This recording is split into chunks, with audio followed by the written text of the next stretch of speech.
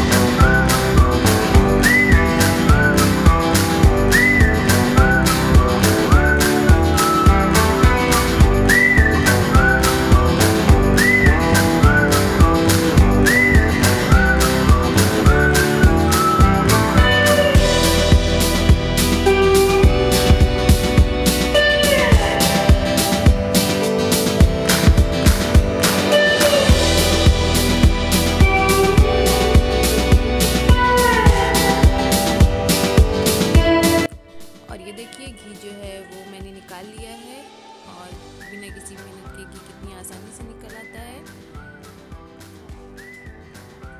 तो मेरी ये वीडियो अगर आपको अच्छी लगी हो तो मेरी वीडियो को लाइक करिए शेयर करिए सब्सक्राइब करिए और कमेंट्स में बताइए कि आपको मेरी ये वीडियो कैसी लगी। अल्लाह हाफिज़।